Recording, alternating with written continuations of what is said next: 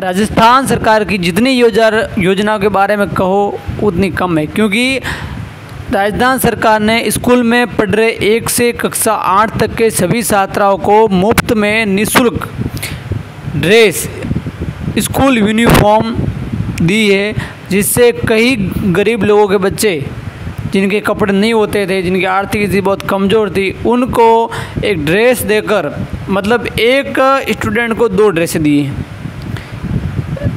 एक को दो ड्रेस दिए और उसके साथ साथ सिलाई भी उनके जो जन आधार में अकाउंट लिंक था, उसके अंदर पैसे भी दिए।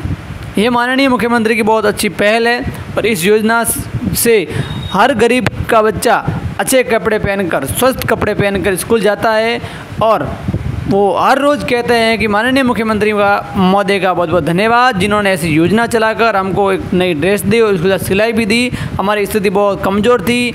उन्होंने ये जो योजना चलाई है, उनका तहे दिल से धन्यवाद देते हैं। तो उन बच्चों की तरफ़ से मैं भी माननीय मुख्यमंत्री मोदी साहब का बहुत बहुत धन्यवाद देता हूँ, जिन्होंने ऐसी योजना चलाकर उन आर्थिक स्थिति से कमज़ोर बच्चों की सहायता की और उन्हें स्कूल यूनिफॉर्म दी। धन्यवाद।